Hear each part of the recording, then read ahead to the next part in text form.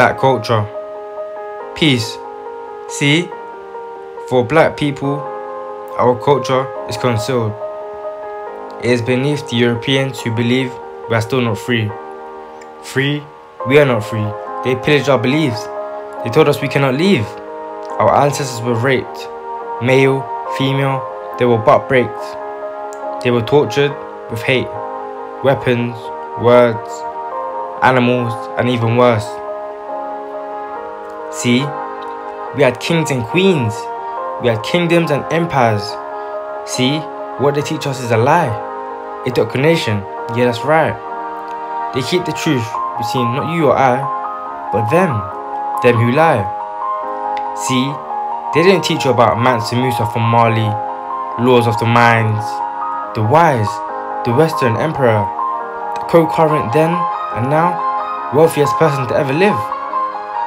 But what about Queen Nanny Ashanti, the leader of the Jamaican Maroons?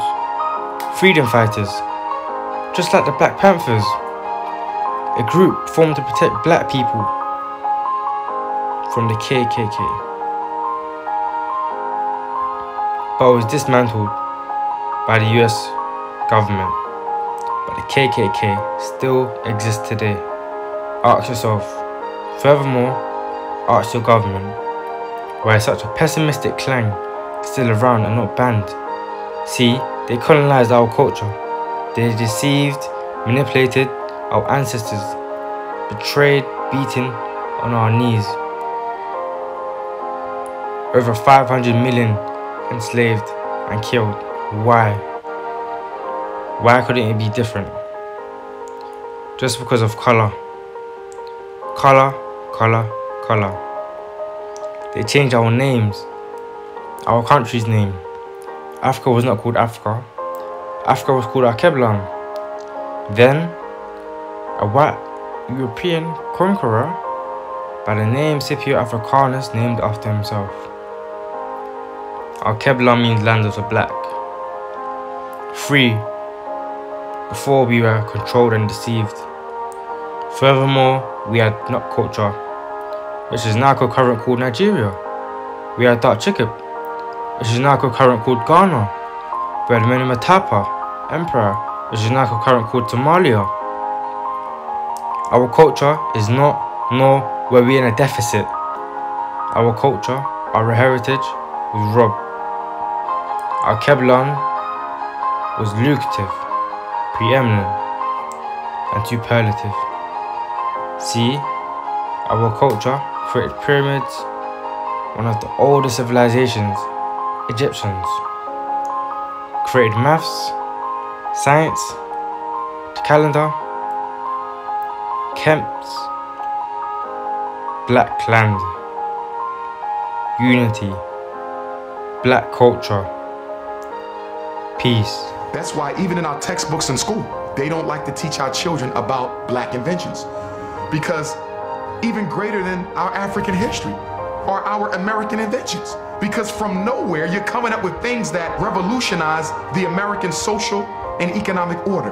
Well, basically, there is a proverb that says that the only thing that peoples of European descent ever created was the patent office because they stole everybody else's ideas and put their name on it. During slavery, because you were the property of your master, a lot of what we invented was automatically given credit to the master.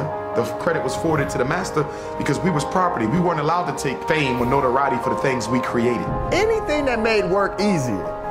Why would white people want to invent something that make work easier when they have black folks to do it? You have a huge incentive to try to get things uh, to move smoothly so that you know you don't get any more lashes you know, or somebody doesn't now have to sell someone else in your family. You know, you know there were there was a lot of incentive to create uh, create invention. And that's another thing. Most of our black inventors had to deal with idea theft. White folks would come in and say we did it first because we didn't necessarily know the process or have the money to patent our inventions.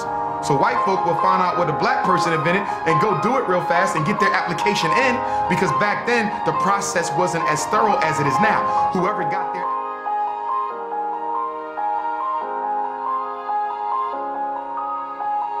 Yo guys, it's your boy, Mr. Hurricane, Hurricane Memphis.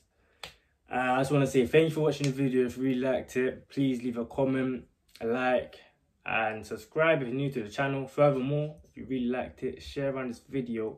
I'll really appreciate it.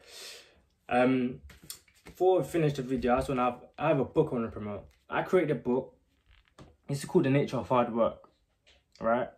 This book, it gives you an insight of how to work hard. And I can read you some of the table contents. So the first chapter is the concept of working hard and motivation.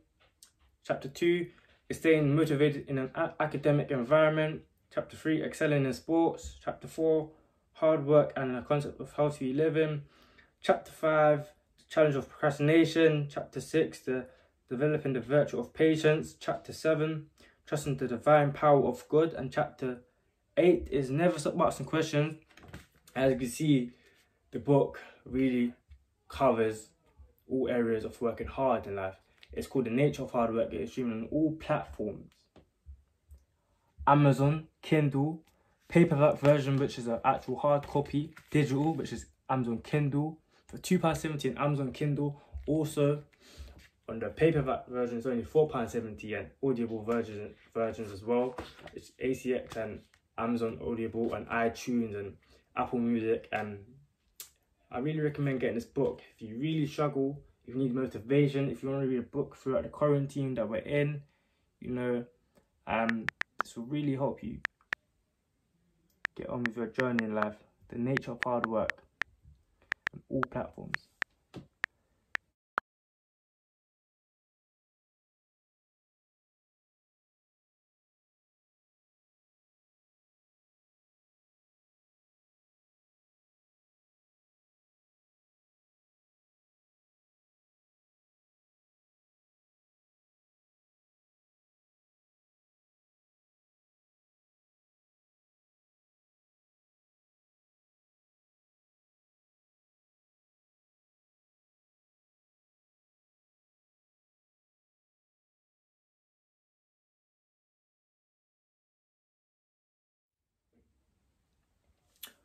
Thank you for watching my video. Once again, if you're new to the channel, subscribe, leave a like, comment and share this video around. And don't forget to get your book, The Nature of Hard Work. It's on Amazon. Search out right now, you'll find it. The only thing you might have to do, once you search up The Nature of Hard Work, you might have to change the filter to books only and then you'll find it for sure. Thank you, signing out.